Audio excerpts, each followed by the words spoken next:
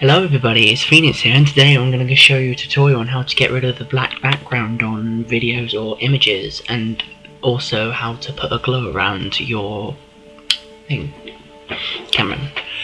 Okay, uh, first things first, I'm going to put my logo in a new composition and as you can see it's got a black background.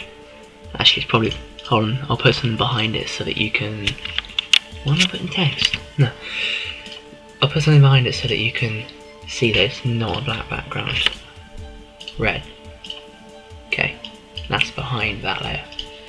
Right, the easiest way to do this is if you look at these things down the bottom here, you click on the mid, yes, middle one, or you can click on both of these like I've done, and you go to mode, select this, put add, and that basically gets rid of any black background that you have.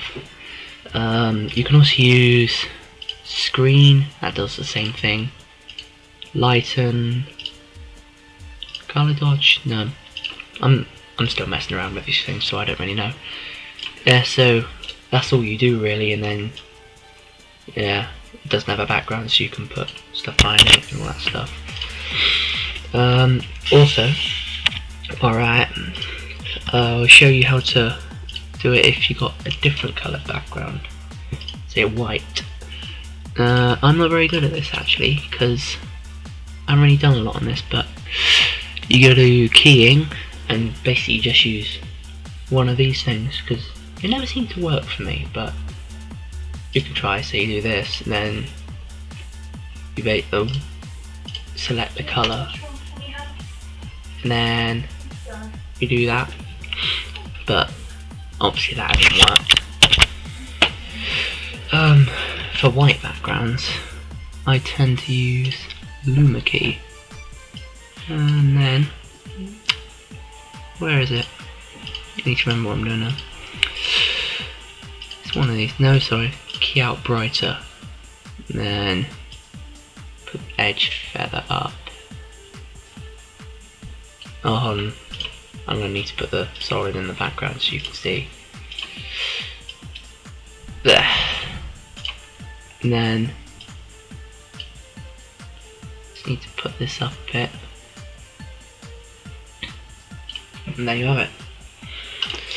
Now, I also promised that I'd show how to put a glow around for the person who requested this tutorial, so if I put this back to add, now, go to effects and you right click in the effects box or you go to effect up here.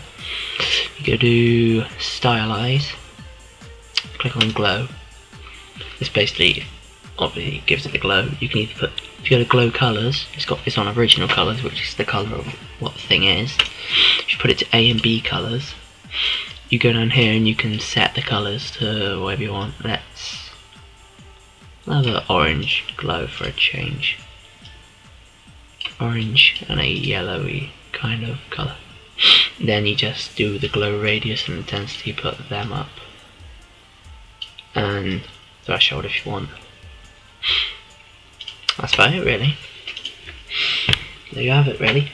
Just get rid of the background, the black background, and then you put glow on. So put a normal, same thing.